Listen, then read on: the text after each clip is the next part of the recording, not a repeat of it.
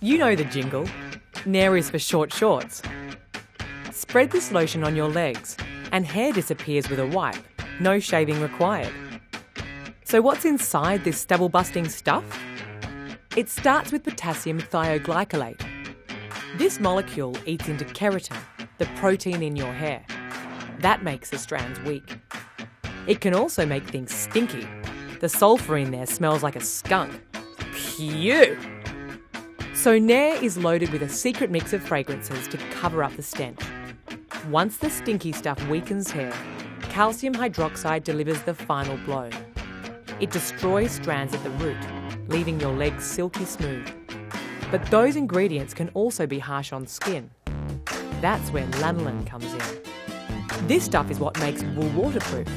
But here, the sheep grease replaces fats that were stripped away along with your hair. Other ingredients work to soften and soothe your skin too. There's cetearyl alcohol, derived from coconut and palm oil, and mineral oil from petroleum. Finally, there's aloe barbadensis. It's great for sunburns and the chemical damage from that hair hacking hydroxide. Yup, the skin repair agents officially outnumber the hair removal ingredients. But it's worth it to skip the shaving mix, right? Right?